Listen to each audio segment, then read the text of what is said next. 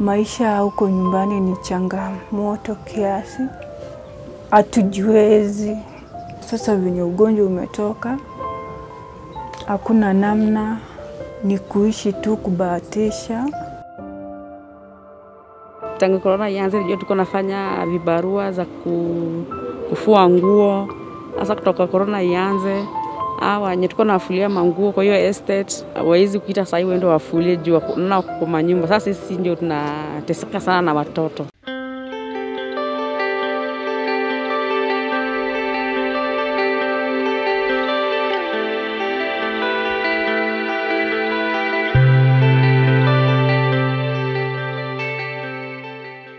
Mm, kwa majina naitwa Brenda Blessed Amsugut. I'm 21 years old. Niliingia shule 2016.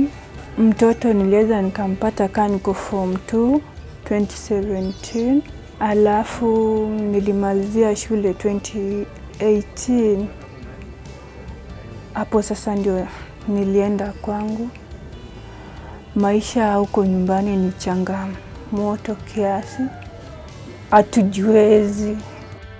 According to the statistics published in February 2020, Kenya's unemployment rate was 9.31% in 2019. The emergence of the pandemic, that is COVID 19, has paralyzed worldwide economies. Okay, venye nilitoka nyumbani kuja Nairobi, mm, wazazi walikuwa wananitegemea, mi ndio nilikuwa tegemeo lao. Pengine nikipata kazi naweza watumia kitu kidogo. Sasa venye ugonjwa umetoka, hakuna namna, ni kuishi tu, kubahatisha. Many companies have laid off workers, and most of those workers have had to lay off their domestic staff. Kwa majina naitwa Haila Esendi, mi nakaa mtaa wa Kangemi. Naitwa Rosemary Chole, nafanya kazi ya nyumba.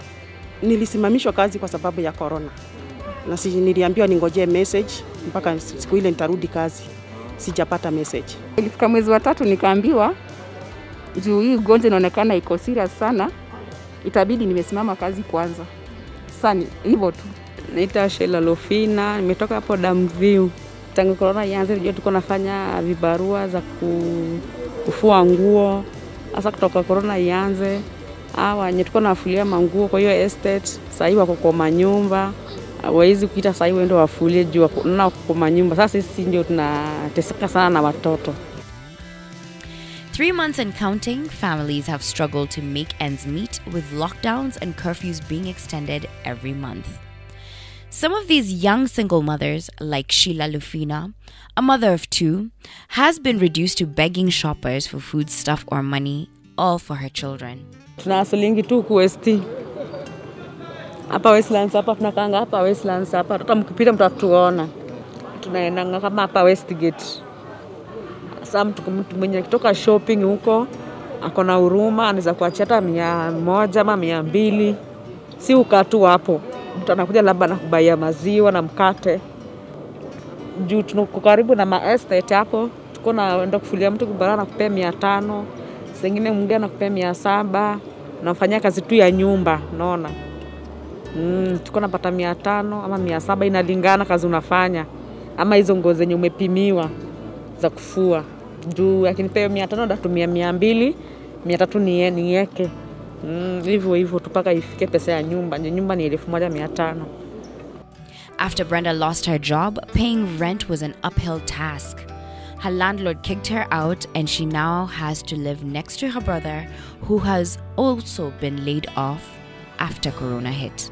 Nilifika huku Januari, nilikaa kwa hizo manyumba for four months. Sasa sikuwa najiweza kulipia, nilikuwa nalipa tu kidogo kidogo. Korona ikajitokezea, sasa nikashindwa namna ya kulipa nyumba. Landlord akaniambia ikifika jioni untakana utoke kwa hiyo nyumba yangu, so nikaamua nikaitoka. Through a youth developed application at Jiri, a subsidiary of Centum Investment Limited, together with well wishing organizations like Seed and Bank and MasterCard Foundation Kenya, deserving residents of Kangemi received food donations enough for two weeks. E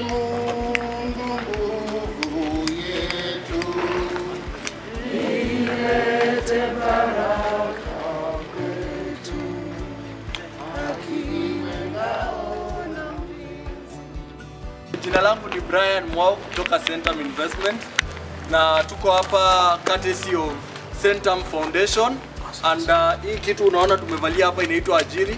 Hiyo system mmekuwa mkitumia inaitwa Zero Contact Distribution System, na hiyo system ilijengwa na vijana, sisi vijana. Actually the lead ako hapa anaitwa Koech. Kuna wakati tuliandikishwa majina na namba ya simu na kitambulisho. Baada ya hiyo tukangojea, ndio tumetumiwa message. Mwenye alituandikisha akatembea akituambia kuna message umepata, nikamwambia ndio, sawa, kesho uende Westlands. Kusoma hiyo message Kaniambia by 11 nikuwe hapa. So mi jana ndio nimepata message kutoka Sidian Bank inasema tuko na nini ya chakula Westlands Primary, tukuje tu redeem. Sidian Bank ilikaa chini ikaangalia venye COVID imetupeleka na tuna, sote tunaweza kukubali that uh, most of us tumekuwa na shida hapa na pale kwa sababu ile kazi ya kawaida watu wamekuwa wakifanya imekuwa interrupted. So tuliamua wacha tujaribu kusaidia Wakenya wenzetu kwa kuwapatia chakula kidogo ambayo itaweza kuwapeleka at least kama wiki mbili, ndio pia wao waweze kuji, kujimudu. Inasaidia sana manake hakuja kuwa na msongamano wa watu, watu kupigana ama kuumizana. Imesaidia sana manake watu wengi chakula imekuwa ni shida juu wakati tulisimamishwa kazi inakuwa sasa kupata chakula ni shida, imekuwa shida sana. Hii korona. sasa wanaripoti, wakiripoti Westlands inaingia ndani. Tafadhali msichukulie hii kitu kwa msaha. Wash your hands, sanitize, social distancing, sawa? Just observe. Hii kitu najua itafika somewhere, our, our personal discipline ndio itatuweka turudi maisha ya kawaida. Kitu ya pili, mimi nataka kushukuru Centum, Sidian Bank na Mastercard na wale vijana wetu ambao wametusaidia kufika hapa leo. Ni kusaidiana na hawa wanakumbuka ni nani huwa wana, wana, wanawafanya wakuwe na biashara kati yetu, kwa sababu bila watu hiyo biashara haitakuwa. Na nyinyi watu wetu pia, hii kitu mkipata chakula hii, ukifika kwa nyumba, tafadhali uitumie vizuri, kwa sababu ni kidogo, lakini tunataka tufikie watu wengi zaidi. Kuna watu wengi ambao wako na shida sahii, hawaendi kazini, hawana eh, any income. Kwa hivyo inawafanya wanakuwa katika hali ngumu sana. In these hard times, sourcing youths from these vulnerable communities has even taken some of these young men off the streets. I used to be an acrobat and I used to hustle here and here. I sometimes entered into bad, bad company where I used to use drugs. But once we went through NYC and Ajiri, we started empowering ourselves, whereby they did a training. They taught us how to verify people and they emp- empowered us with work. Now we are being paid and the process of giving out foods.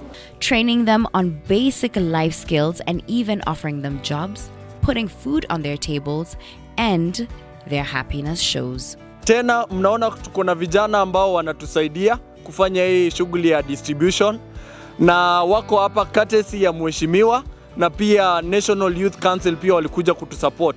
Hey, life ilikuwa hard sana juu it was hard to make ends meet. Kama kulipa nyumba ulikuwa unakaa kama miezi tatu haujalipa nyumba, landlord anakutolea mabati ya juu. Saa ingine una, unaingilia tu crime tudogo tudogo tu kuiba simu, lakini venye niliona marafiki wangu wanauliwa nika, nikaona that is the bad way. I better choose the right virtues za kulive, and ndio nikadecide sasa ni nisome nifanye manual simple, simple jobs za NYC na center. Wametusaidia sana vijana wa mtaa. Sahii mshahara inaingia, unadunga, unanunua nguo safi, unalipa rent, na ujue bado sisi ni young families, tuko na watoi wa mtaani na wife, so sahii unaweza wabaia food, unaweza buy hata chakula poa wakule 3 meals per day. Sidian Bank nasema asante, Mungu awabariki na mzidi kufanya hivyo. Tunawaambia tu asanti na Mungu aongezee sana. Kama sisi tu- tuko na shida sana, juu si ni masingo mother